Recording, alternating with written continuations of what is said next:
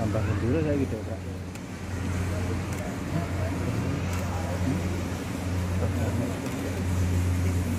Apa sih?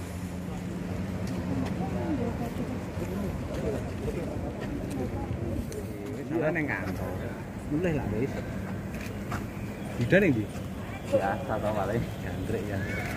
Saya sudah pernah keliling di sini beberapa bulan yang lalu dan saya ingin pastikan aja bahwa dalam kondisi yang sangat baik terawat uh, dan ada beberapa fasilitas yang mungkin pada saat itu belum siap sekarang sudah ada fasilitas buat media yang tempatnya saya rasa luar biasa. Nah tetapi juga ini kesempatan yang luar biasa buat kota Solo yang mempunyai stadium standar internasional ini. Artinya apa pertandingan-pertandingan internasional bisa dilakukan di kota Solo. Dan inilah kenapa kami berkomunikasi dengan FIFA dan AFC untuk mempertimbangkan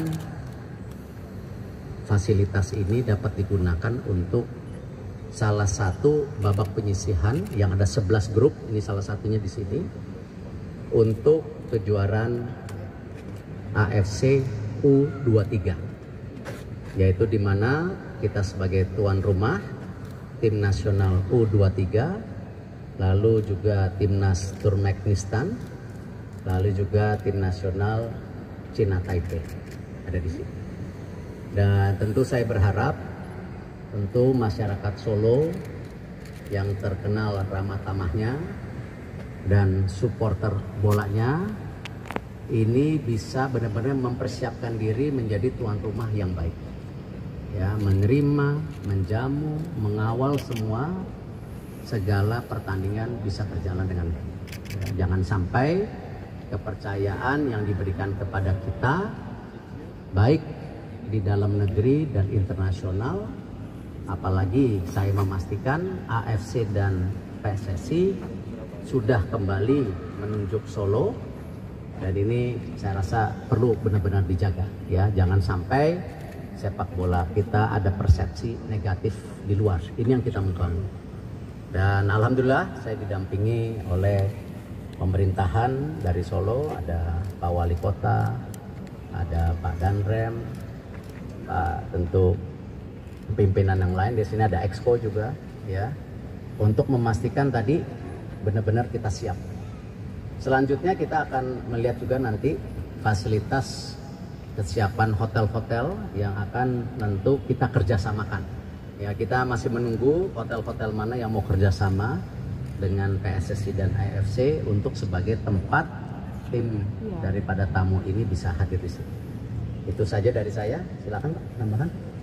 Jakarta mewakili Pak Gibran Raka Buming Raka kami mendampingi beliau Ketua PSSI Pak Erick Thohir dalam rangka melihat secara langsung stadion yang terbangun terakhir oleh Menteri PUPR dan ini salah satu yang diunggulkan oleh Kota Surakarta dan sekaligus oleh PSSI kepercayaan inilah yang harus kita bangun bersama-sama seluruh stakeholder di Kota Surakarta, khususnya stakeholder sepak bola, bagaimana menjadi tuan rumah yang baik, tidak hanya menjaga kota Surakarta tetapi menjaga Indonesia agar seluruh momen-momen penting dalam rangka memajukan olahraga sepak bola ini mendunia lewat stadion kota Surakarta. Saya kira terima kasih sekali lagi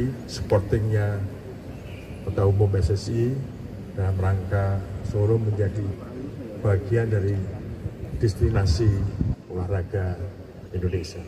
Saya kira tambah dari kami itu. Terima kasih.